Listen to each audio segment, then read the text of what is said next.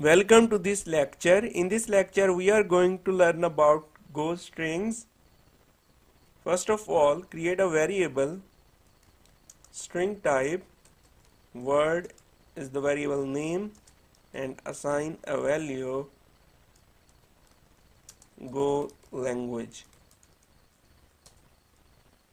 And simply here print word variable and result is here.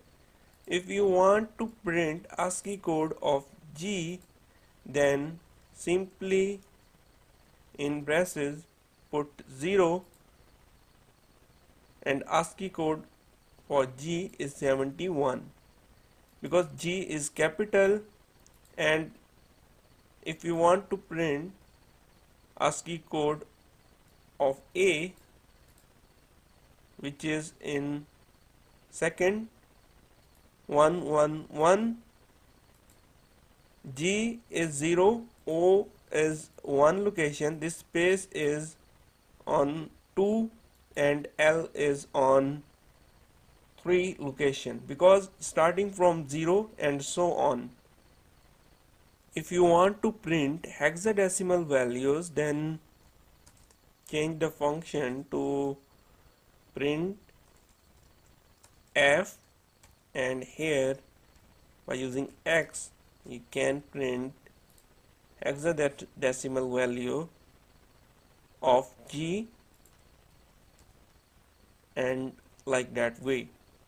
Hexadecimal value of o is 47 for l is 4c if you want to print this string in quotation then you can use word and here plus q and here printed in quotation. Go language in quotation. If you want to find number of characters in string variable then you can use the predefined function len which is length and the program cannot use len as and oh change the print f to printf ln and undefined print. So the length of the string is 11 1 2 3 4 5 6 7 8 9 10 and 11 the length of the string is 11 you can find the length of the string by using len predefined function which calculates the length and you can print. Concatenating string so let's suppose we can define two strings like this way.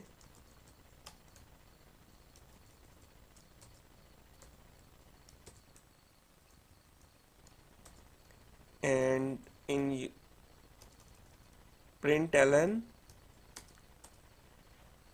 you can concatenate by using strings.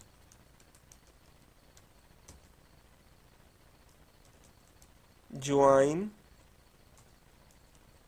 And here is the word or strings array. And here you can put space and run the program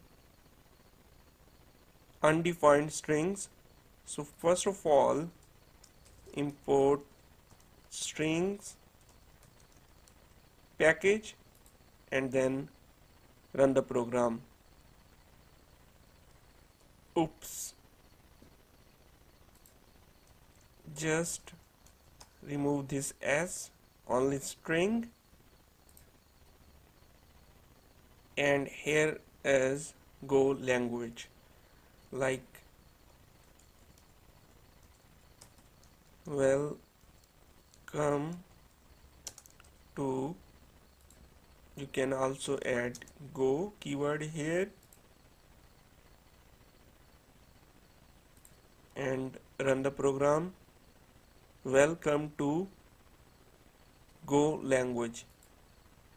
The go keyword is not here. We are going to add this keyword in the middle of language and welcome to. So